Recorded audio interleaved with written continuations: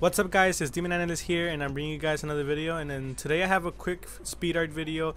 It's a tutorial that I found online. There'll be a link in the description so you guys could go check it out as well. But mine is only a speed art, it's not a tutorial because I'll be stealing some somebody else's um, content. But anyways, I just wanted to put it up on my channel so we could all like spread some holiday cheer since Christmas is here and everything, you know. So anyways, it's Santa Claus. Hope you guys enjoyed. See you guys later. Bye bye.